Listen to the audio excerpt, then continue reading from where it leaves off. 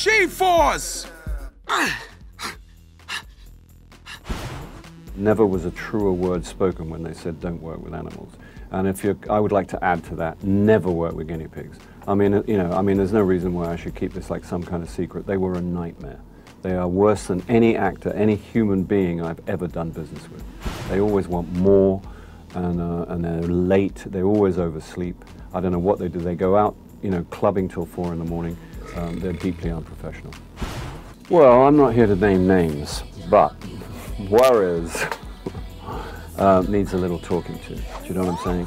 Uh, she was always complaining. There was nothing, no, nothing was ever quite good enough for her. You know, the set was never quiet enough. I was never apparently good enough. Um, you know, her transportation was always a problem. The hotel was never, she was always changing her room. And she must have changed her hotel room, I don't know, a dozen times. And that takes time, you know, and it takes up people's time. She was just like a complete burden on the whole enterprise. You know, my trailer was like, you know, it was minuscule compared to the average guinea pig trailer. I mean, they had, I mean, you know, let's face it, they're nine inches tall. How big does the trailer have to be? Do you know what I'm saying? They had trailers the size of small countries.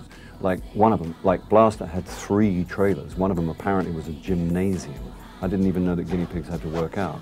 They had so much ordnance and so much territory, it was embarrassing, particularly for me. I looked like I was the man at the gate. It was just bad. Yo, cameraman, come closer.